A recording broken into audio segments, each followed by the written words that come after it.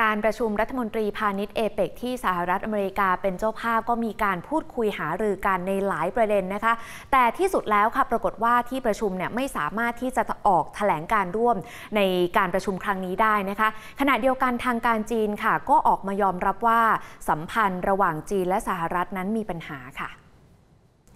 เรื่องนี้ทางโฆษกกระทรวงต่างประเทศจีนเหมาหนิงได้ตอบคำถามนักข่าวว่า สหรัฐไม่สามารถเรียกร้องขอความร่วมมือจากจีนได้ ถ้าหากสหรัฐยังคงพยายามทำร้ายและจำกัดผลประโยชน์ของจีน มากไปกว่านั้นเหมายังเปิดเผยว่าจีนมีหลักการสำคัญอยู่ 3 ประการ กล่าวคือการเคารพซึ่งกันและกัน อยู่ร่วมกันอย่างสันติ และร่วมมือกันแบบจริงใจ ซึ่งสวนทางกับการที่สหรัฐ มีท่าทีที่ไม่เป็นมิตรต่อจีนอย่างจริงใจทำร้ายและจำกัดผลประโยชน์ของจีน ดังนั้นจีนจะรักษาการติดต่อสื่อสารกับสหรัฐ เท่าที่จำเป็นเท่านั้น และสหรัฐไม่สามารถที่จะเรียกร้องความร่วมมือจากจีนได้ สหรัฐจำเป็นต้องแสดงความจริงใจ และตรงไปตรงมามากกว่านี้ หากต้องการความร่วมมือแบบทวิภาคี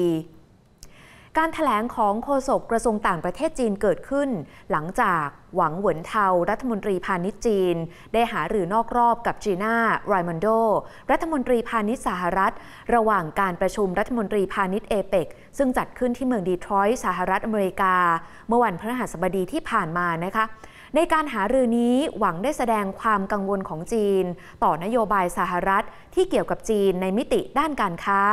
รวมไปถึงอุตสาหกรรมเซมิคอนดักเตอร์ รวมทั้งประเด็นปัญหาที่เกี่ยวข้องกับการควบคุมการส่งออก และการตรวจสอบทบทวนการลงทุนในต่างประเทศ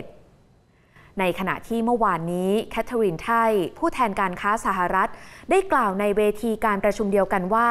แม้ว่าการประชุมครั้งนี้อาจไม่เห็นความสำเร็จที่เป็นรูปธรรม แต่ทางสหรัฐหวังว่าจะสามารถสร้างข้อตกลง หรือออกแถลงการที่เป็นรูปธรรมได้ ในการประชุมสุดยอดผู้นำกลุ่มเอเปกที่จะจัดขึ้นในช่วงปลายปี